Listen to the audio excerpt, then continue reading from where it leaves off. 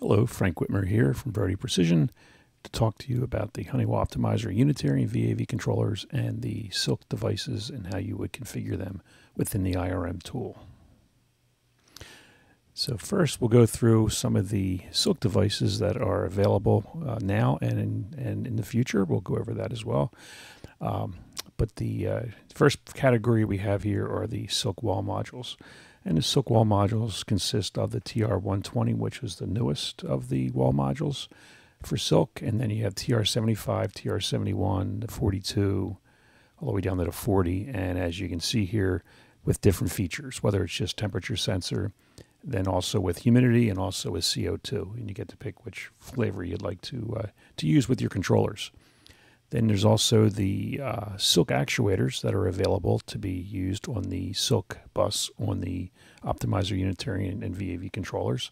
And then we also have the enthalpy sensors, which are a temperature and humidity sensor that uh, goes on the Sylk bus as well. And we'll go and set up uh, one of each of these and, and show how we would configure them within the uh, IRM tool and the controllers. Uh, recently they've added the Honeywell has added the Sylk device uh, IAQ sensor, the TR50. Uh, the TR50 has uh, two different models, and then they come with a display and without a display as well. And as you can see here, they are Sylk, and they can also be backed in MSTP or Modbus RTU as well.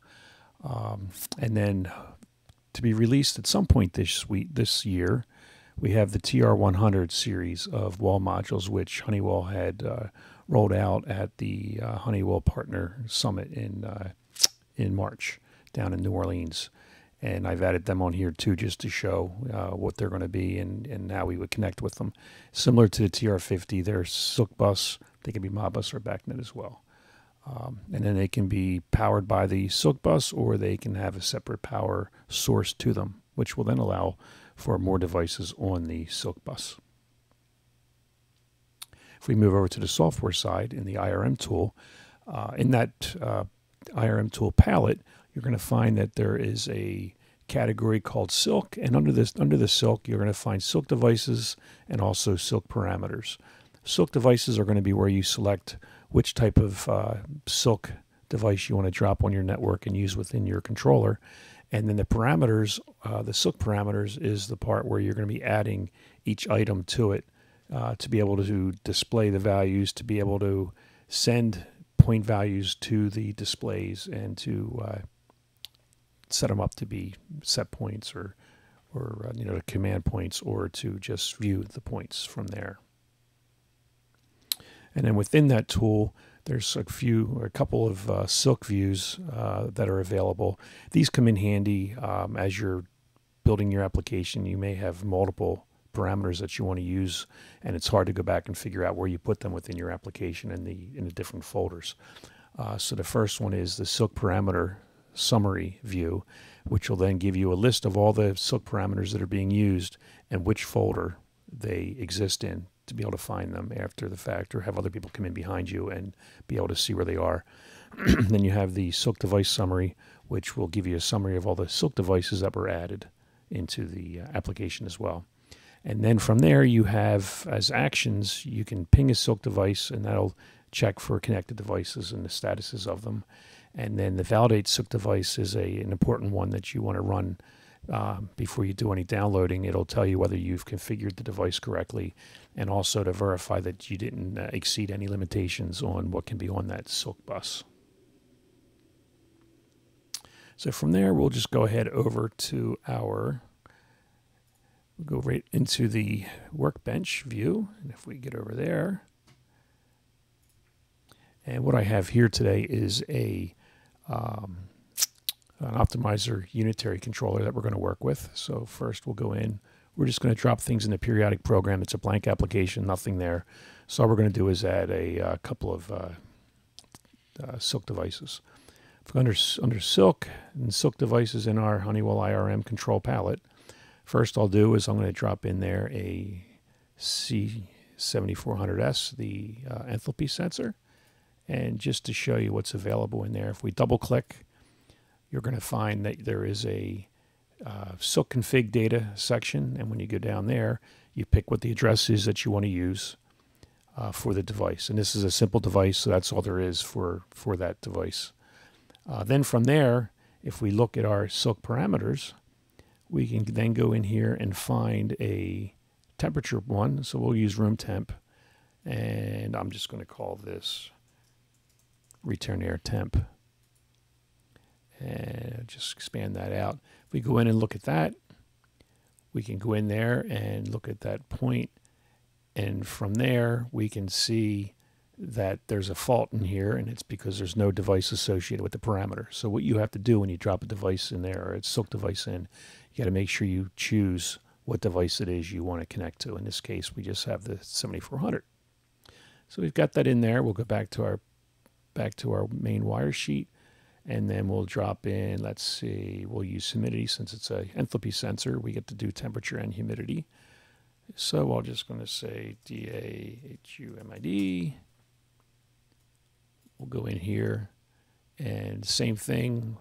We'll go in here and tell it that it is uh, on the C, C7400S. So from here, these would be the two objects you would use to then link to a BACnet point to be able to expose the, the values and also to add um, links to other parts of your application. If we move on and we look at a TR70 series, and we're just going to drop a TR71 on here. Expand that out a bit. Take a look. TR71 configuration, you're going to notice some similarities to what you had with your um, Spyder Classics and the uh, wall modules and configuring them within the uh, Spyder tool. But if we go in here, first part would be your home screen. We'll take a look at that.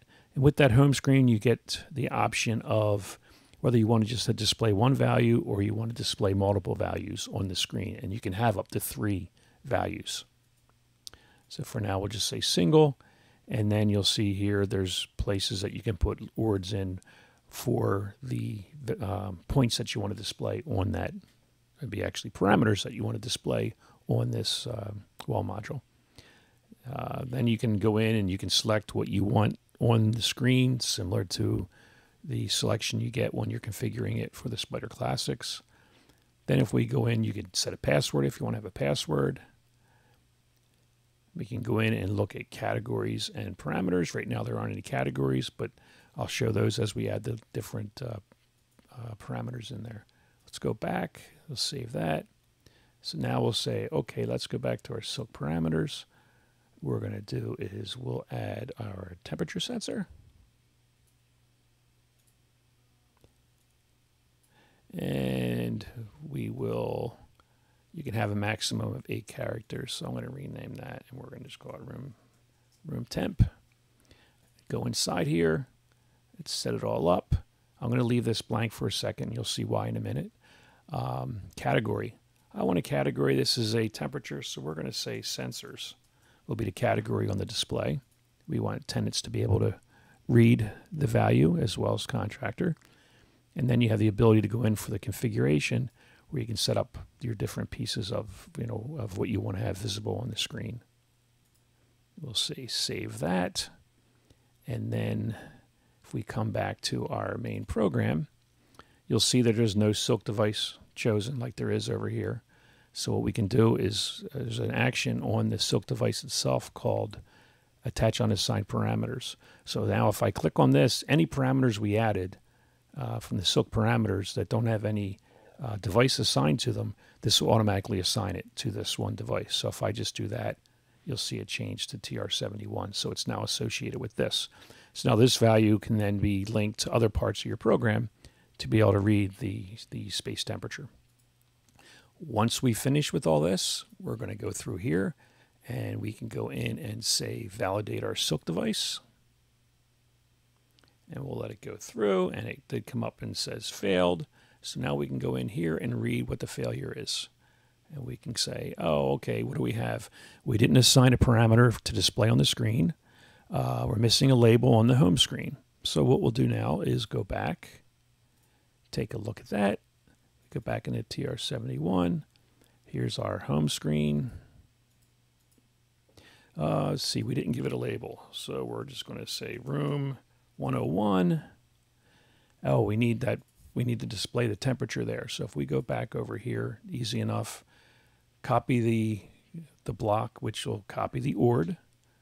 We go back in here, we'll do a paste, and you'll see it goes in as an ORD. When we do the save, it turns around and makes it a handle value instead. So if you're not sure what it is when you look at this, you click on the arrow head and it takes you back to that where it's connected to. So it's going to display room temp. So we have those pieces fixed. So we can go back here and say validate Sylk device. And okay, I got my pop up on my other screen and it did validate successfully. So now once that happens, we can turn around and go back to our application. This is the first time downloading to this controller. So I'm just going to go in and tell it to do a full teach. And then it will send the, the application down to the controller. And then the displays will start displaying the values. Now you'll see in here there are many others. And um, if you wanted to add points to your, like a TR71, like you used to do in the Spyder Classic, you can go in there and add other points to display on there. So those are the same icons that you had when you did the configuration on your TR70 series um, configuration screen in the Spyder tool, uh, which would be these type of screen uh, uh, parameters that you would add. And we could drop them on there as well.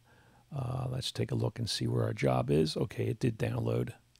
So we do have a successful download on that controller. And you notice that by the uh, yellow triangles have gone away. and we are just waiting now to see the temperatures come up.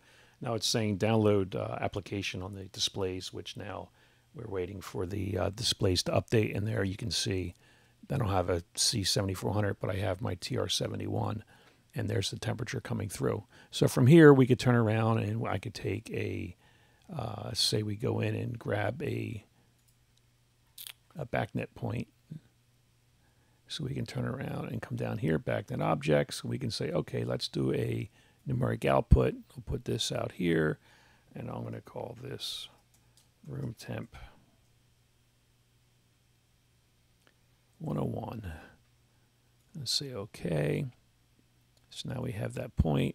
I can turn around and link it here. And now that we have the value there, and you'll see that I have it set for immediate, so it's going to download directly right away, and it did do it there.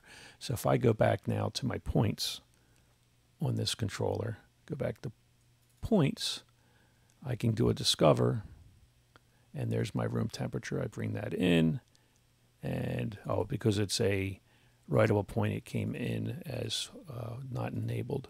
Once we enable it, you'll see there's our temperature, and it's coming through from the uh, from the parameter.